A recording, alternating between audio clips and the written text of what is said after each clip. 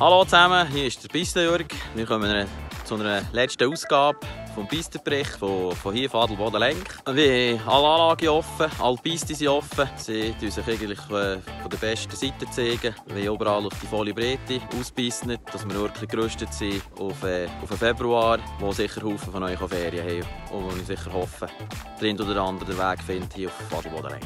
Vielleicht Rückblick die letzte Woche, was wir erlebt haben. Wir haben die letzten Tage regelmäßig Neuschnee bekommen. Abwechselnd haben wir auch schönes Wetter gehabt, aber wir haben so in der oberen Region haben wir sicher in einer Woche jetzt einen halben Meter Neuschnee bekommen. Hier im Tal ist wahrscheinlich auch ungefähr so viel. Zu der Piste. Die Bedingungen sind so wie es ist. Wenn es Neuschnee hat, gehen sie halt die Piste ein weich. Aber sonst ist alles zusammen winterlich verschneit. Das heisst also sehr, sehr schöne Verhältnisse. Die Gegend alles zusammen schön verschneit. Tani alles zusammen weiss, Berge alles zusammen weiss. Also vom Landschaftsbild her ist also perfekt. Die Piste, wie ich gesehen habe, sind wild, durch das halt ein bisschen weich. Das ist Natur, da können wir nichts machen.